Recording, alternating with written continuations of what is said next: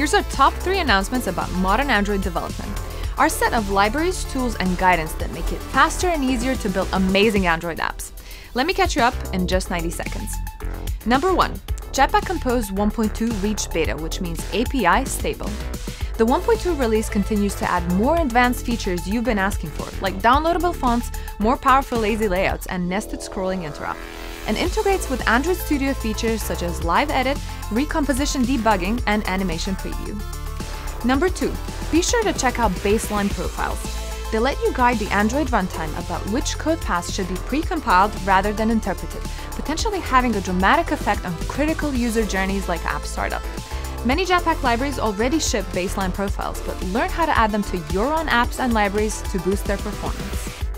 Number 3 is an early look at a feature we're working on called Live Edit, which lets you update composable functions and the changes are shown in real time. Works on previews, emulators, or physical devices. It's a game changer. Try Live Edit out by enabling it in the Canary release of Android Studio Electric Eel. Those were the top 3 mad announcements from Google I/O. But there's so much more, so go watch the full playlist.